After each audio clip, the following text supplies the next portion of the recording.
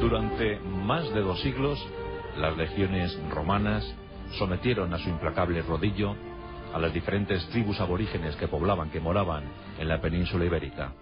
Tras la caída de Numancia, la célebre ciudad de los celtíberos, de los arebacos, en el año 133 a.C., el camino parecía expedito, parecía allanado hacia la conquista total de la península ibérica. Pero algo se opuso con ferocidad, con tenacidad, con el alma libre, con el alma arraigada a su tierra, con ese espíritu libertario, los cántabros, los astures, los galaicos, todos se opusieron a que Roma determinara la Pax Romana para buena parte del continente europeo. Tras el fin de las guerras celtíberas y lusitanas, todavía eh, necesitaron un siglo los romanos para aplacar, para doblegar el ánimo de libertad de los pueblos norteños. Esta es la historia de las guerras cántabras. Decenas de aldeas, pueblos, castros, miles de aborígenes crearon un frente de guerra de más de 400 kilómetros que logró paralizar durante más de 10 años al mejor ejército del mundo conocido. El propio emperador Octavio Augusto se tuvo que poner al frente de siete legiones, siete magníficas legiones, para intentar sofocar la revuelta norteña. Fue un hecho prodigioso que tras el desastre de Numancia llegó a inquietar muchísimo al propio Senado romano.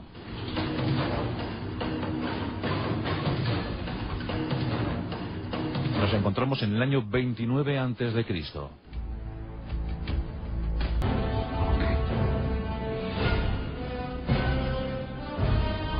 Ya los romanos habían aprendido en tiempos de Viriato que la táctica de las tribus aborígenes no era otra sino la guerrilla.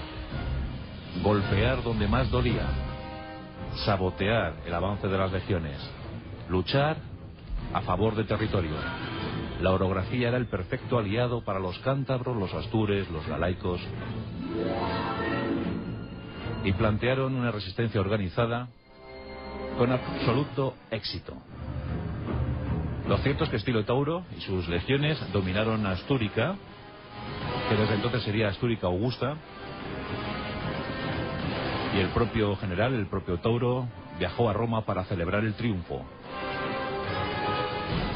Aunque más pronto que tarde, en Roma, en la eterna capital, se dieron cuenta que aquella victoria no había sido relevante, que simplemente era el principio de una guerra agotadora,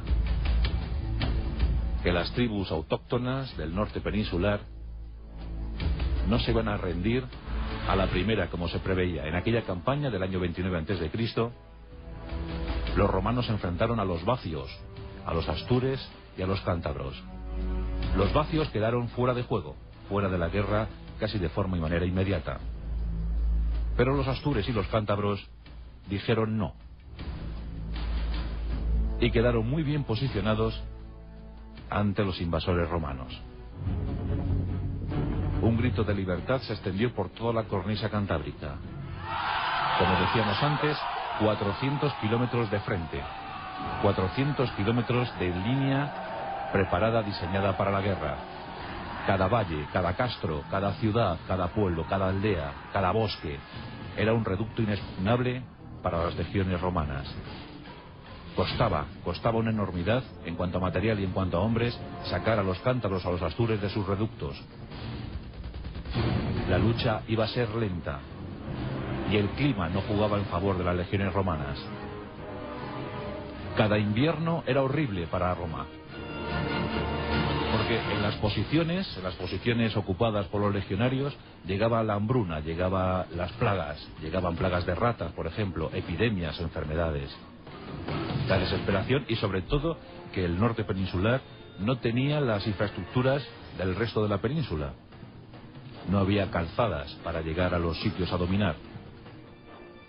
Por tanto, los romanos casi casi se tuvieron que convertir en alpinistas, en senderistas, porque tenían que eh, andar, eh, tenían que moverse por territorios hostiles en los que una cuadrilla, en los que un grupo reducido de cántabros o de astures podía caer sobre ellos en cualquier momento, preferentemente durante la noche.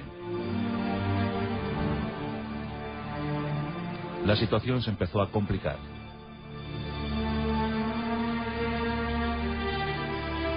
Finalmente, el flamante emperador Octavio Augusto decidió tomar las riendas de aquel conflicto, aquel conflicto agotador. Ya había derrotado años atrás a Marco Antonio en la batalla de Actium y manejaba al ejército más poderoso del planeta. En aquel momento, más de 50 millones de almas, 50 millones de seres humanos, se encontraban bajo la égida romana. 4 millones de romanos. Otros 30 eh, de ciudadanos libres. Y 16 millones de esclavos. Ese era el potencial humano, ese era el reservorio humano con el que contaba Roma. Y legiones, muchas legiones. El mejor momento, el punto álgido para las legiones romanas. Había que conquistar, era obligado conquistar el norte peninsular. Era la principal misión para Roma y sobre todo para su emperador, el Augusto Octavio, el sobrino nieto de Julio César aquel que diseñó con minuciosidad el futuro imperio. Pues la primera victoria de ese imperio tenía que ser necesariamente la ocupación de las tierras cántabras y astures. Por eso, Octavio desembarcó en la península en ese año 27 a.C. Por eso, tomó posiciones en Tarraco y la convirtió en la capital eventual del Imperio Romano. Dos años estuvo en Tarraco Octavio Augusto. En esos dos años se levantaron monumentos, se erigieron templos, llegaron embajadas de cualquier confín del imperio. En Tarraco se tomaron decisiones trascendentales, por ejemplo, la propia creación de ese censo, ese censo poblacional. Octavio tenía mucho interés por saber con qué contaba, cuántos súbditos se arropaban bajo el manto de Roma. Y en esos dos años otras tantas campañas. Había que asestar un golpe definitivo a los cántaros y a los astures. Y en consecuencia se ordenó traer la florinata del ejército romano. Siete brillantes, brillantísimas legiones. Veteranos, aguerridos, soldados que se habían curtido en mil frentes. Siete legiones integradas por 70.000 hombres, los propios legionarios más las tropas auxiliares. Las tropas auxiliares se reclutaban en los territorios de guerra. Eran eh, tribus afines a Roma que habían pactado con Roma y que acompañaban a las legiones como auxiliares en sus contiendas. Por tanto, fijaos el problema que representaban los irreductibles cántabros y astures, que el propio emperador se puso al frente de un ejército de 70.000 hombres, la mejor máquina bélica de la época, para intentar sofocar aquella revuelta. Ya os digo que eran 400 kilómetros de frente abierto, frente de combate. ¿Podrían estos montañeses aguantar el empuje, el ariete de los romanos? Pronto se iba a comprobar, se iba a ver. Había legiones espléndidas como la primera Augusta, la segunda Augusta, la tercera Macedónica, la quinta Laudae, la sexta Vistidis, o por ejemplo la novena Hispana, o la décima Gémina, la favorita del Julio César. Esas siete legiones avanzaron con muchísimo esfuerzo, con muchísimos problemas. Ya os digo que no había infraestructura, no había calzadas, pero avanzaron hacia los territorios norteños. Y Octavio al frente de ellos. Octavio era un hombre eh, que tenía una malísima, buena salud de hierro. Estaba muy afectado por algunas enfermedades, como por ejemplo una colitis crónica, una colitis instalada en su cuerpo desde que era bien joven, que le impedía actuar con total normalidad. Por eso eh, era muy frecuente que la columna de turno se tuviera que parar para que el emperador fuera a hacer sus necesidades porque estaba muy acuciado por la urgencia. Pero Octavio también era supersticioso. Y al margen de las dolencias, al margen de las enfermedades, pues se fijaba mucho en lo que ocurría a su alrededor.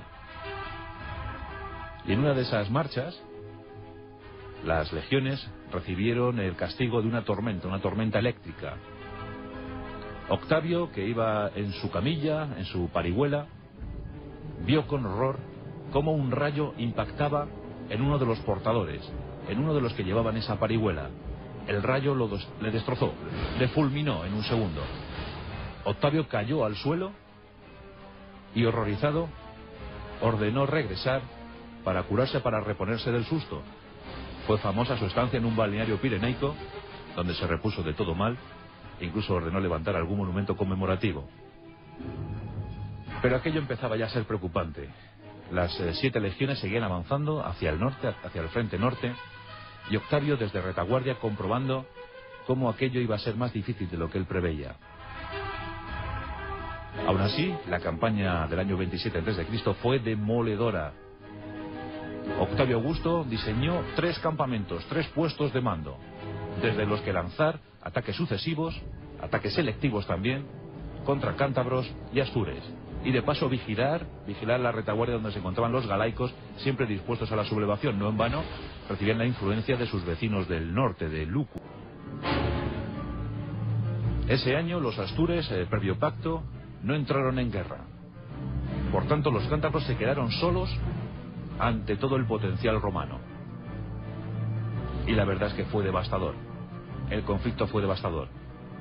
Los cántabros, lejos de la rendición, lejos del agotamiento, generaron una auténtica vorágine de terror.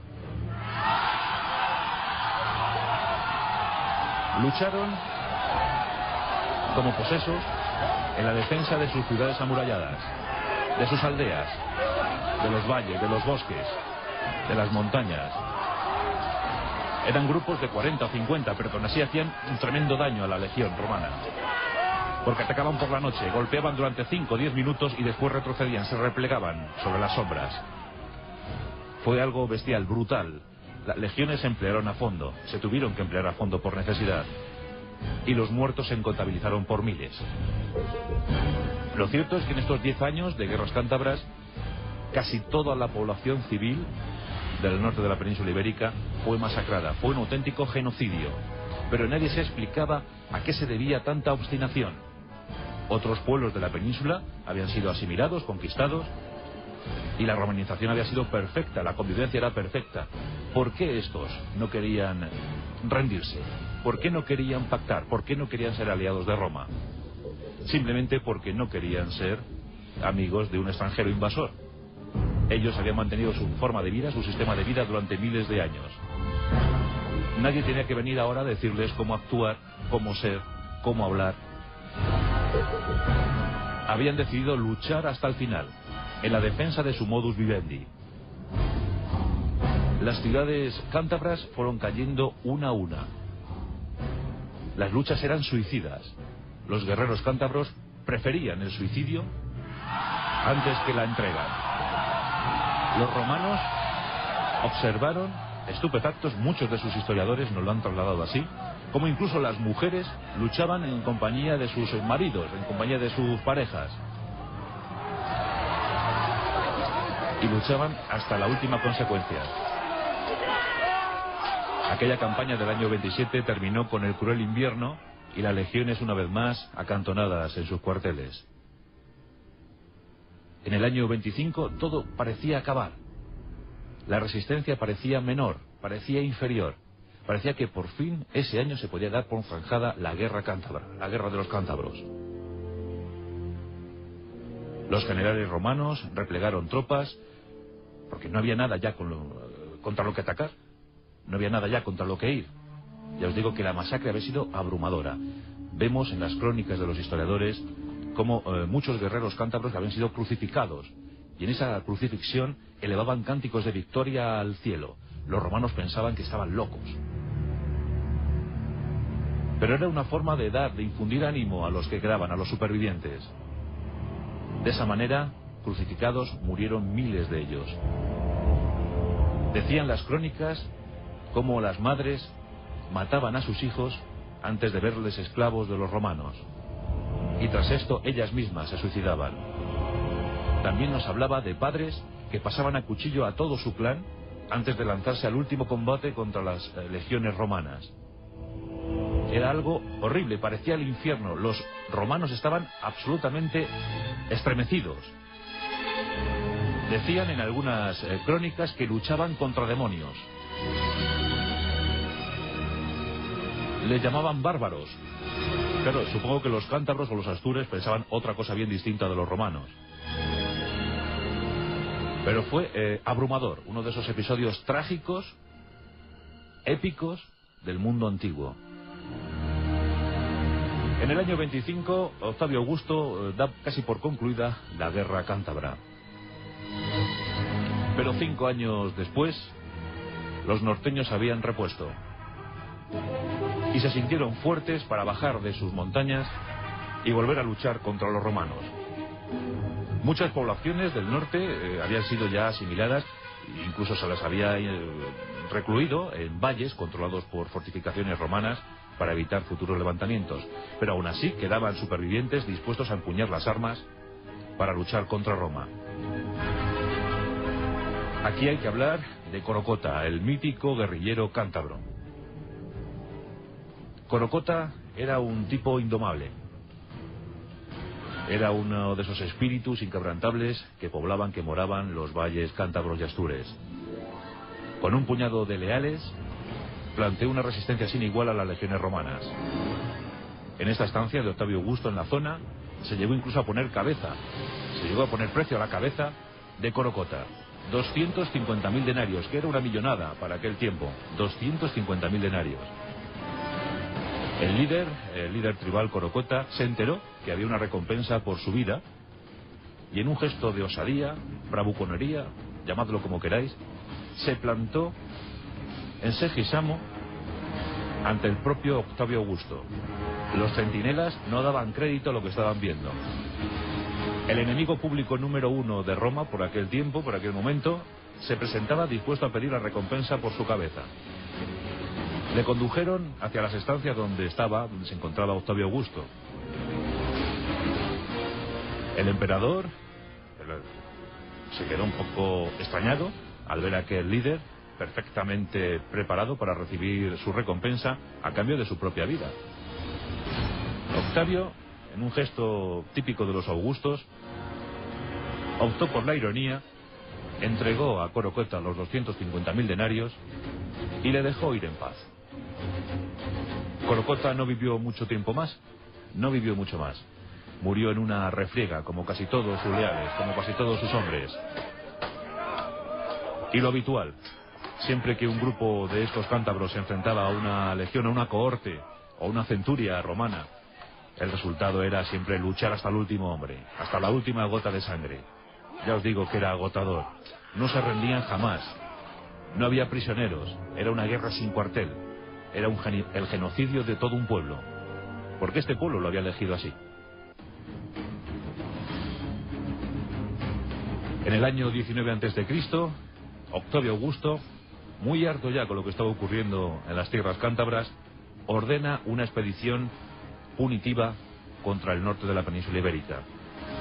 Será una guerra definitiva, una guerra total. La victoria será para Roma. No habrá otra opción le encargó esa difícil tarea a su mejor general, a Marco Agripa. Marco Agripa era tan eficaz como sanguinario. Como siempre, las legiones fueron seleccionadas escrupulosamente. No podía haber más errores. Roma había pagado demasiado caro la invasión total de la península ibérica. Había que culminar los dos siglos de conquista sangrienta y había que, culminarlos con una victoria. Marco Agripa sabía que no podía regresar a Roma sin esa victoria, sin ese triunfo. Sus hombres, muy aleccionados, muy concienciados con la misión eh, encomendada, entraron en combate, año 19 a.C. Los cántabros, una vez más, presentaron una resistencia feroz, heroica, a ultranza. Era el último momento. Muchas eh, ciudades habían caído, Lucus, por ejemplo. En Lucus eh, se produjo una masacre. La actual Lugo, posteriormente conocida como Lucus Augusta, había sido una masacre abrumadora, donde habían fallecido miles de personas, mujeres, niños, ancianos, guerreros. Habían preferido fallecer, morir en combate o gracias al suicidio, antes que entregarse a Roma. Virgidum era otra ciudad también que pasa la historia como Numancia. Hay muchos casos como el de Numancia en la historia. El de Numancia es el más eh, espectacular, el más sonoro, pero ahí están Calagurris, Virgidum, Lucus, Amaya. Muchas ciudades cayeron de igual manera como lo hizo Numancia. Y como siempre, los romanos tuvieron que emplear lo mejor de sí mismos para poder sacar de sus reductos a los cántabros. Los astures ya habían sido dominados, pero aún quedaban grupos de irredentos, aún quedaban grupos rebeldes que seguían hostigando a las cohortes romanas. Agripa fue cruel, absolutamente aterrador. Masacró aldeas enteras. Cientos de habitantes de cada aldea, de cada castro, morían víctimas del hierro romano. Pero una vez llegado el invierno de ese año 19 a.C., la situación fue controlada. Aquel inmenso frente de combate de 400 kilómetros de extensión había quedado reducido a unos pequeños focos de resistencia. Finalizando ese otoño, llegando el invierno, la guerra ya se podía dar por terminada. Pero no porque hubiese un ejército vencido, no porque hubiese un ejército que se, hubiese entregado, que hubiese pactado, no, es que ya no quedaba nadie a combatir. La situación era lamentable. Ya os digo que eh, prácticamente se podía dar por sentado el genocidio de todo un pueblo. Escasísimos supervivientes. Miles de muertos. Algo horrible. Pero por fin se podía implantar la Pax Romana. Así declaraba la paz Roma, después de haber pasado a cuchillo a todos sus enemigos. Dio muchas alegrías tanto a unos como a otros. Hispania aportó no solo, no solo combatientes, sino también emperadores, intelectuales y muchísima materia prima. Y Roma aportó su derecho, su sentido de urbanidad, su idioma, su visión, su visión sobre la vida. En el año 409, en el otoño del año 409 después de Cristo, cuatro siglos después de las últimas guerras cántabras, suevos,